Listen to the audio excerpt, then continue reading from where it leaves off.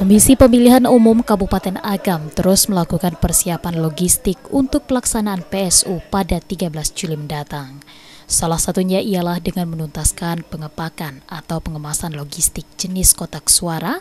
Rabu siang sejumlah petugas tengah melakukan pengepakan 1.721 kotak suara di gudang KPU Kabupaten Agam pada Rabu siang.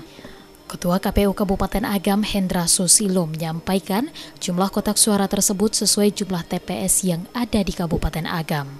Pengepakan akan ditutaskan berikut perlengkapan yang ada di dalamnya dan selanjutnya akan didistribusikan ke TPS-TPS yang ada.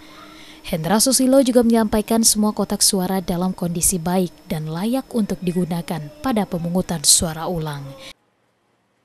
KPU Kabupaten Agam hari ini telah melakukan proses persiapan untuk pemungutan suara ulang ini.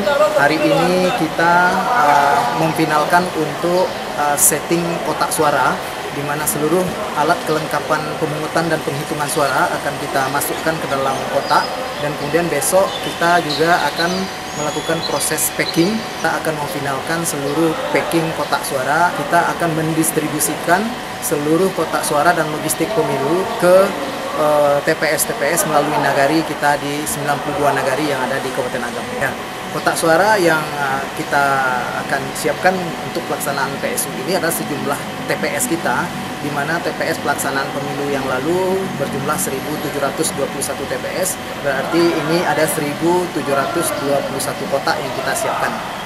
Ada kategori atau ditemukan kotak yang rusak itu? Alhamdulillah seluruh uh, kotak yang ada yang sudah sampai ke gudang ataupun ke hari ini kita pusatkan di Gor Agam Lubuk Basung Kabupaten Agam semuanya dalam kondisi baik Alhamdulillah dan siap untuk kita gunakan pada pelaksanaan PSU yang akan datang.